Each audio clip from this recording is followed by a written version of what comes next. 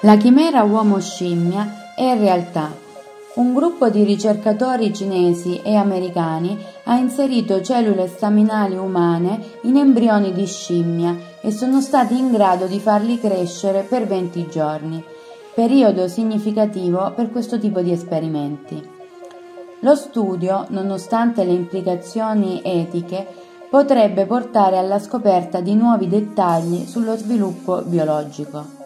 Non solo, stando a quanto riferito dagli studiosi sulla rivista Cell, gli embrioni chimera potrebbero avere implicazioni per studiare le malattie. Poiché non siamo in grado di condurre determinati tipi di esperimenti sugli esseri umani, è essenziale disporre di modelli migliori per studiare e comprendere in modo più accurato la biologia e le malattie umane. Afferma uno degli autori, Juan Carlos Itzpisua, Belmonte, professore del Gene Expression Laboratory presso il Salk Institute for Biological Sciences. Nel nuovo studio, sei giorni dopo la creazione degli embrioni di scimmia, i ricercatori hanno inserito in ciascuno di essi 25 cellule staminali pluripotenti umane, che possono differenziarsi in tessuti sia embrionali che extraembrionali.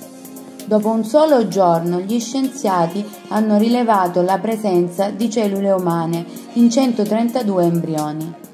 Dopo 10 giorni 103 degli embrioni chimerici erano ancora in via di sviluppo, ma la sopravvivenza di queste chimere ha iniziato a diminuire al diciannovesimo giorno, quando solo tre embrioni erano ancora vivi.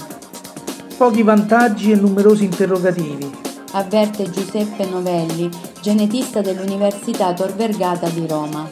Non solo di natura squisitamente tecnica e scientifica, ma soprattutto di tipo etico e sociale. Introdurre staminali embrionali umane nella blastocisti di un macaco è fortemente vietato da tutte le linee guida di bioetica esistenti. Le cellule chimeriche embrionali sono potenzialmente in grado di generare embrioni chimera, quindi feti, di cui non sappiamo nulla.